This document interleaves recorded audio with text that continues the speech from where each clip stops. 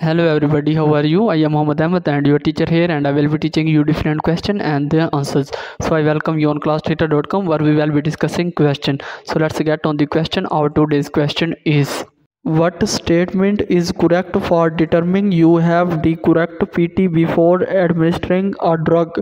The correct answer of the question ask them to state their name and DOB and compare it to the MAR and wristband so that's the correct answer of the question. If you have any question just leave a comment. I will be answering you as soon as I can. Thank you very much for watching the video. Please don't forget to like share and subscribe our channel.